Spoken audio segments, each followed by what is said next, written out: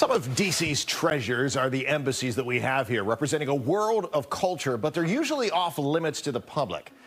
Tomorrow, you can go inside more than 60 embassies as part of Passport DC.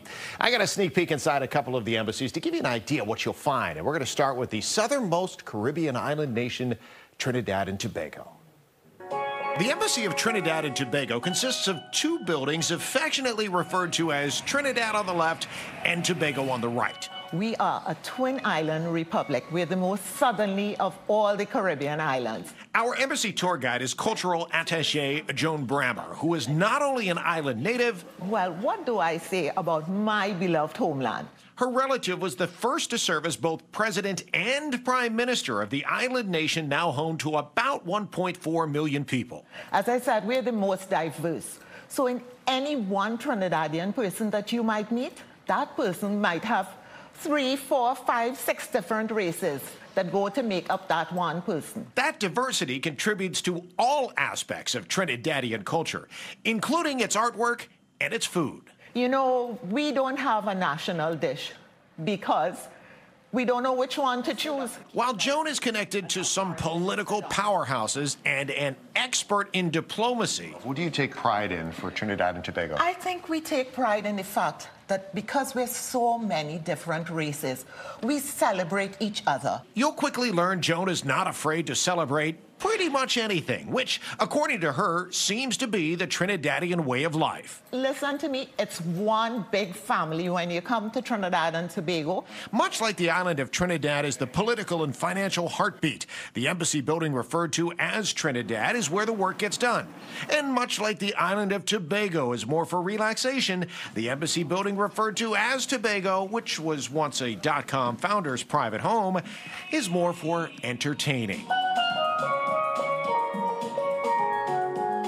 As we learned, whether Trinidad or Tobago, the party rarely stops, especially when music is involved. And this nation lays claim to the origin of one of the most distinct sounds in the Caribbean, the steel pan or steel drum, originally crafted from oil barrels discarded from ships. Those got discarded there, but we took somebody else's trash and made it something really spectacular. Musical treasure Musical from the trash that was left behind. The oil drum is heated and hammered, each indentation a different pitch. So much like a piano, each key has its own note. Each one of these bumps here have it, has its own note. If you're going to teach me how to play, what's the first thing you would teach me? All right, so first of all, you're going to hold it here. Kendaya is a steel pan pro, a performer and a teacher, obviously with a lot of patience. The full scale. Oh. But a few minutes and a crash course later. There we go. Now we got it. Exactly. And now I'm going to give it to you, the expert. In Trinidadian culture, you can't have music without movement. Carnival is the biggest party in Trinidad and Tobago, held every February with headpieces and outfits progressively more elaborate for each day of the celebration. Now, on Monday, we don't wear the whole costume because, as we say, we want to free up. So we don't want to have the headpiece. So Tuesday we go all out. All out. And then Wednesday we go to the beach. Wednesday we go to church first and then to the beach. and then the beach.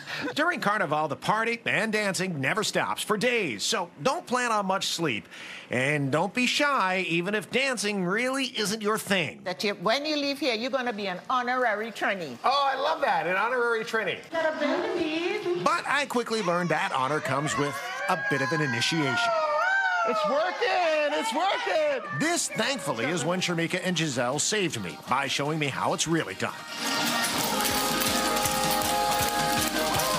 Dancing and music to art and culture and just Caribbean vibes, it's just a very small taste of Carnival here in D.C., but just enough to make you think about booking that trip for the real thing. Are you coming too? We're going to hold, all right? So we're all going to be in Trinidad and Tobago for Carnival. I love it. It's a date. it's a date. Carnival. I have not laughed that much. the, my favorite part is it's working. It's working. I'm here to entertain. I'm here to entertain. Kudos Uh, to you for being down to do the dancing and the and the steel drum. That was I had awesome. a blast. Thanks to everybody down at the embassy. That was so much fun. Uh, Carnival, by the way, will be in February, so we have time to get ready for that. Uh, the embassy tour is tomorrow, so everything that you saw there you can see for yourself at the open house.